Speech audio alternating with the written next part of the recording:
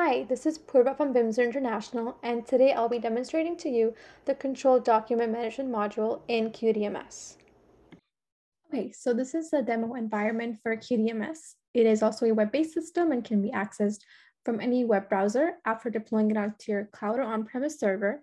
It is also a permission-based system, so not everyone has access to everything in the system, and you can access what you're supposed to based upon your position, profession, department, and group.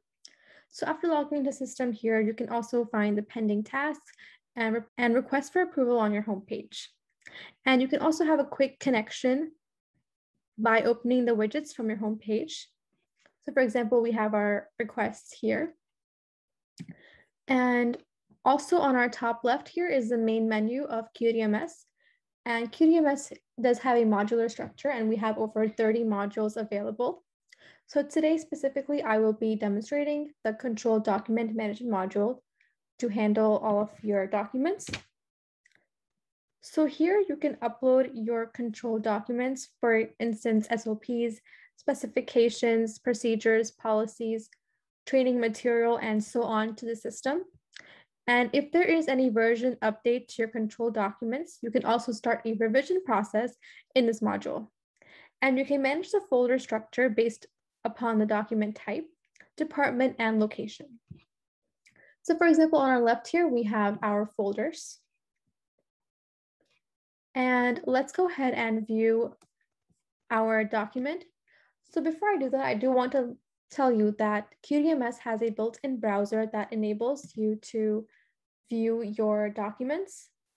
And QDMS supports all document formats from Word, Excel, PowerPoint, PDF, video, audio, and so on. So here is our document. And on our top, top over here, we, can, we have different information that is related to our document. For example, here we have the document code as well as the name. And we'll also see the, the, the document owner as well as the department that it falls under. Since this is a SOP, it falls under the quality department. And we can also see the date of creation as well as the last revision date and when the approval date was. And we're also able to see the creator of the document. And here we have the revision information. So here we can see who the reviser was as well as when the approval date was and who the approvers were as well as the revision reason. And we also have our permission list here where we can give certain access to certain user groups or positions. So we can either give reading access, printing access, or revision access to the specific user. And we also have our distribution list.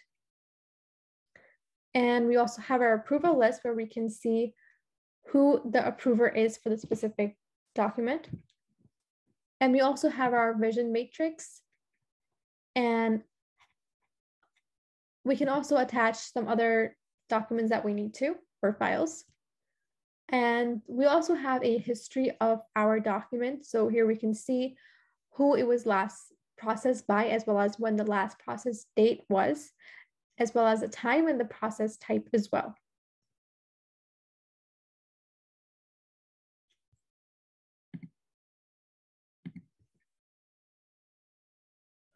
Also in this module, we have a reporting tool. So there is a reporting tool available for every module in QDMS.